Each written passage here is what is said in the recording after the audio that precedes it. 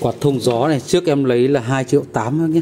Đã đặt cho khách à, đặt cọc rồi nhưng bây giờ hỏi mãi từ hôm ở trên kênh chưa thấy bác nào à? Bác ấy đặt cọc 500 rồi nhá à, bác à, nào mà đặt cái cọc này rồi thì gọi lại cho em Tuấn nhá em à, bác là 500 em dọn luôn đây này. Hôm trước em để cho bác là 2 triệu tư đấy. 2 triệu tư. Riêng quạt này là quạt từ quạt xịn của Nhật nhá quạt thông gió quạt hút gió bác nhé. 5 cánh.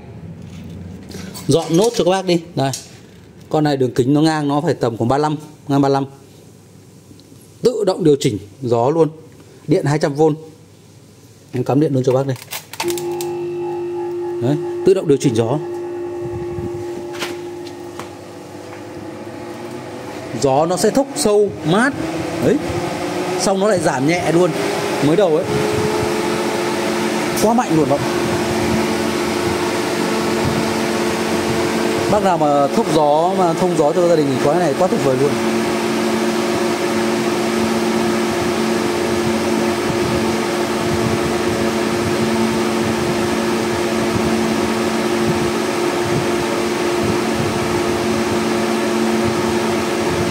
Ok chưa?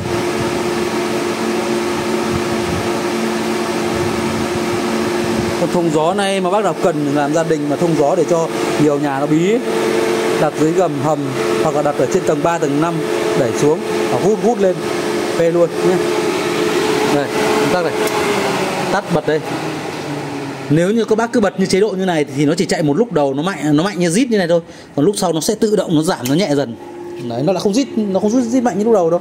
Mới đầu khởi động thì nó sẽ rít như thế, lúc sau nó sẽ vừa phải thỉnh thoảng nó nạp thôi đây ạ